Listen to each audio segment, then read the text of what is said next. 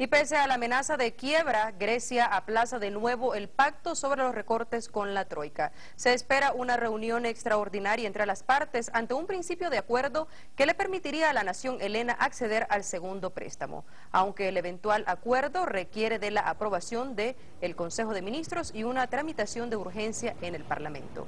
Los partidos del gobierno se oponen a las nuevas medidas de ajuste fiscal exigidas por los prestamistas internacionales. Recordemos que Atenas necesita lo antes posible un pacto por 130 mil millones de euros para evitar la bancarrota y la suspensión de pagos a finales de marzo.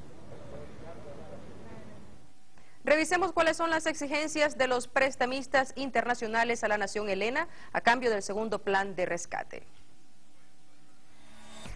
La Troika le exige a Grecia una rebaja entre el 20 y el 25% del salario mínimo, recortes del 20% de las pensiones, además el despido de unos 15.000 empleados para este año y otros 150.000 hasta finales del 2015, sumado a la privatización inmediata de las empresas públicas, liberalización de las profesiones y abolición de los convenios colectivos.